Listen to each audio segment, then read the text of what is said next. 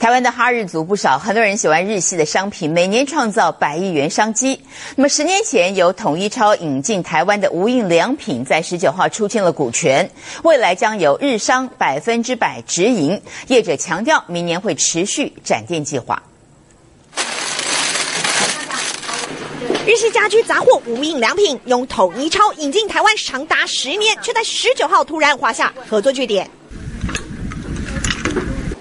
原本统一超和日商分别持股百分之五十一和四十九，日方今年希望增加股权和主导权，统一超考虑长期营运效益后，反而决定出清，以每股八七点八元高价出售，总交易额高达十四点五亿元。不过目前双方都低调避谈，一定会有不一样吧？可是就蛮期待，觉得他们东西会比较精致啊，做的会比较好这样子，然后品质上会比较有保证的。不少台湾民众对日商直接经营颇有期待，看上的就是日本店家的服务。特别的地方就是在它后里面有就是增设装的那个暖气，它暖气的部分是可以调节温度的。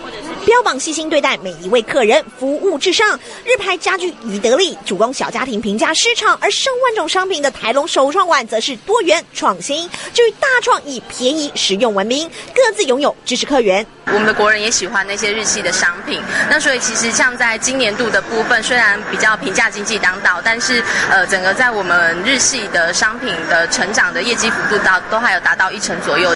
看准，就算不景气，民众也要品质过生活。日系连锁店不放过一年百亿的台湾市场，持续拓展版图。记者曾继续录音，新北市采访报道。